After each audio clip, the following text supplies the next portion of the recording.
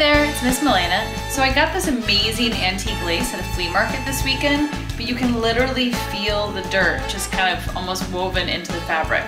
I'm sure this happened to a lot of you, so I'm gonna show you some basic cleaning methods on how to get rid of this dust and to kind of liven it up again. This lace is over 100 years old, so there are some issues, but I consider them pretty small, especially if I'm gonna rework it into a skirt or something. So the first step that I do with all of my antique clothing is, let's just rinse out the dirt before we can begin, okay? Make sure you get a good pair of gloves. It's really important to protect your skin. Okay, now that the water is full, we're just gonna kind of move the fabric around. Be sure to be really gentle, especially with these older netted laces, because you don't wanna be the reason why they're tearing. You don't wanna wring stuff out like we're used to seeing people do.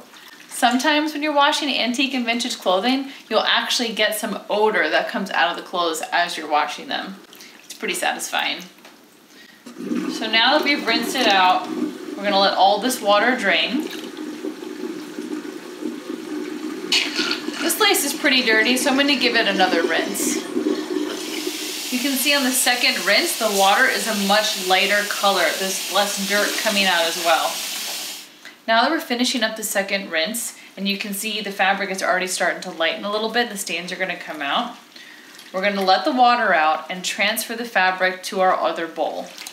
The next step is to add the OxiClean, but don't do it right to the cold water that you had. No matter what it is that I'm washing, I use a full scoop.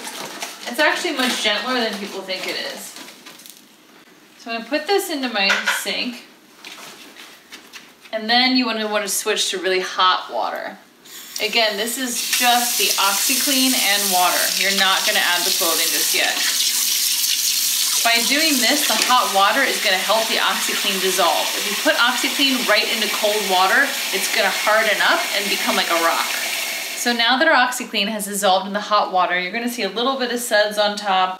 The water's going to look a little murky, Wait for the water to cool. It should only take about five minutes and then you're gonna add your delicate fabrics, okay? Now that the water is cool, we can add our delicate fabric. You're just gonna put it in. And again, be really gentle with how you're handling it. You don't wanna wring it or like push it around too much. And just lay it in there. Now that it's all mixed in with the OxiClean and the cold water, just walk away and let it sit for a while. I'd say probably about an hour you should be good. Sometimes you'll have to rinse it out and repeat, but let's just start there and see how much it comes up, okay? So we had to repeat that process a couple of times, using the hot water to dissolve a cup of OxiClean, swishing our fabric around in the water. You could watch the color get really dark, wait about an hour, rinse it out, repeat. And now if you look, we've rinsed everything out and the water is pretty clear and the fabric is so much lighter. You want to make sure that you rinse out all the OxiClean because if you don't and your item dries, you're going to get these like yellow stringy marks and some hardened areas. So this is pretty clean, so we're going to let all the water out. I like to hang my pieces outside to dry. This piece of lace is a little fragile, so instead of hanging it so it's really heavy, you don't want it to pull and stretch in a weird way lay out some towels and then you can lay the fabric out on top of it and it will slowly dry. Some people like to roll it up also to get out some of the extra moisture, but with this fine netted lace, it really isn't necessary.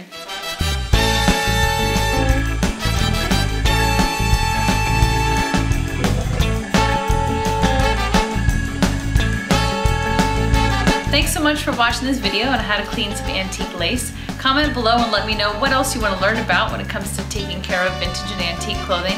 And be sure to follow me on social media and Etsy for great vintage finds. Thanks again.